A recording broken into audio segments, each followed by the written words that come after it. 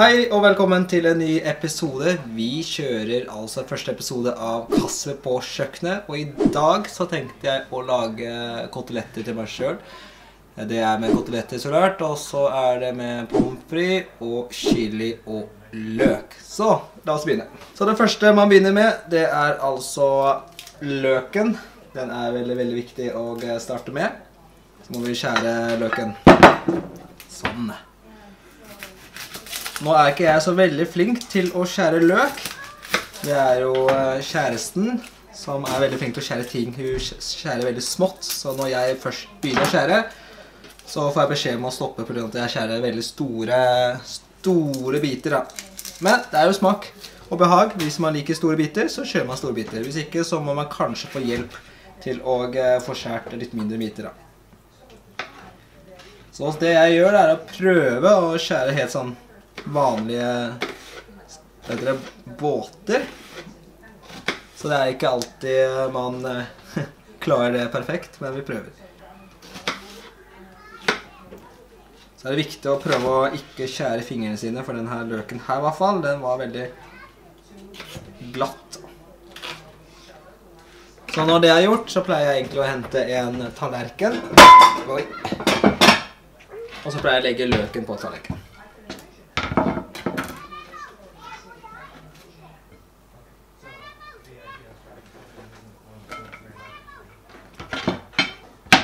Det neste jeg skal skjære, det er altså chilien. Og da kjører vi den sterke chilien eh, her, som er en habanero. Og den er sterk, altså. Så da kjører vi bare én Ett stykk, eller én, eller hva man da kaller det. Jeg vet ikke hva det heter. Da kjører man igjen. Helst skal vi ha det her i småbiter, men eh, jeg klarer ikke å skjære småbiter, så da blir det veldig, veldig, veldig store, store biter. Ja.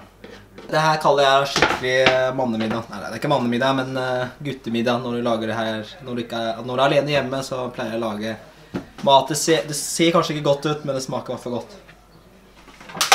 Så da har vi kjøpt uh, svinekoteletter. Og de skal vi da ta og krydre med grillkrydder. Og så tenkte jeg å bruke pepper. da. Nå er ikke jeg så veldig glad i salt, men hvis du er glad i salt, så bruker du også salt på det.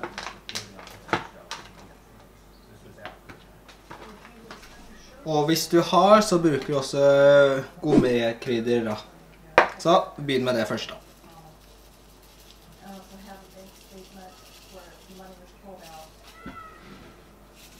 Grillkrydder.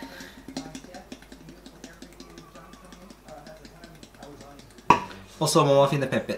Her har vi da vanlig pepper, svart pepper. Her må man være litt forsiktig, sånn at man ikke tar for mye, for det er veldig lett, og eh, det kommer fort ut da. Og så gjør man det akkurat på samme på andre siden, og gjør man det likt da. Så da begynner vi med gourmet, eh, her inneholder det faktisk litt salt, da, så det blir det salt på det likevel, da. Grillkrydder. Og så må man ikke glemme å sette inn pommes fritesen før man steker, for pommes den tar eh, litt lengre tid, da. Da har man kjøpt eh, en ganske svær pommes frites. Den heter eh, Pommes frites Family. Så det sier seg sjøl at det er for stor familie. Nå er jeg alene, så ja. Da har jeg tenkt å, å bruke melange, som er egnet til å steke. Så la oss finne en kniv. Så det jeg pleier å gjøre, er å ta ganske bra, ganske bra smørstykke. Jeg vet ikke hvorfor, men jeg pleier alltid å ta. Og så må man skru på platen. Det er veldig, veldig viktig. Og så er det lurt å skru på vifta. Og det kommer til å bråke litt nå. Vi har jo eh, gjort klar eh, da svinekotelettene, så nå skal det stekes ikke, vet ikke hvor lenge det skal stekes, men eh, du føler på når du steker hvor lang tid det tar. Hvis du har en stekeklype, så kan du bruke det også, men jeg har tatt og valgt å bruke stekespade. Eh, men hvis du har stekeklype, så funker det også. Setter vi ned, setter vi ned varme til 7, og så legger vi på eh, da svinekotelettene.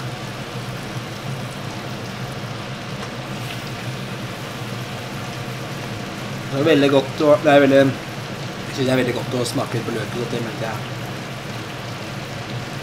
Så jeg pleier sånn cirka å la svinekatten ligge på en side ett minutt cirka. Så synes jeg sju var litt for lite, så vi setter opp varme opp til um, åtte igjen. Jeg tar og snur da svinekotelettene rundt. Eh, og nå har den cirka ligget i ett minutt, så hvis det er at du trenger litt hjelp, så er det lurt å holde hånda på den. Vær forsiktig, for det er veldig varmt.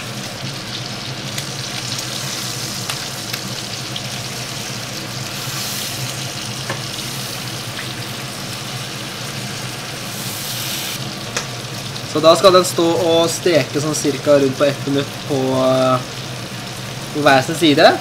Når du begynner å få den gyllfargen, og den er ikke litt harde når du eh, presser den i midten, så betyr det at det er ferdig.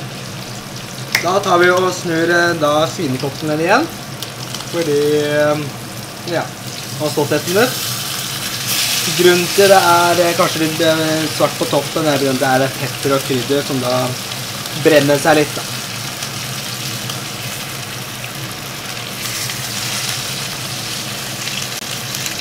Og så kjenner man på toppen, for å kjenne om den er begynt å bli hard. Eh, det er fortsatt litt eh, myk inni, du merker det, for den er ikke tørr når da den gir litt motstand. Og den gir litt motstand, så betyr det litt grann rått innvendig.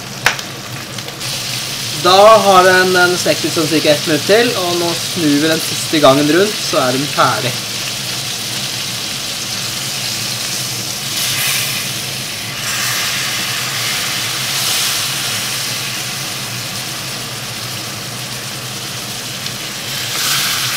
Da har den stekt i ca. ett minutt på hver sin side. Det har sagt det veldig mange ganger nå.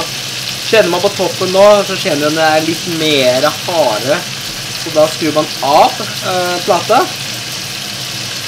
Så det jeg pleier å gjøre, er å ta den lille kraft, kraften jeg stekte det i, tar jeg over kotelettene. For jeg syns det er veldig, veldig godt, da.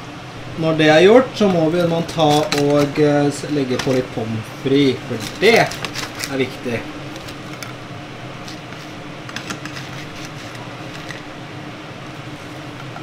Da er eh, svinekotelettene ferdige. Nå har du sett hvordan jeg lager mat. Hvis du likte denne videoen her, ta og gjerne like denne videoen her. Og hvis du har forslag til hva jeg skal lage til neste episode, ta og kommenter det nede i kommentarfeltet.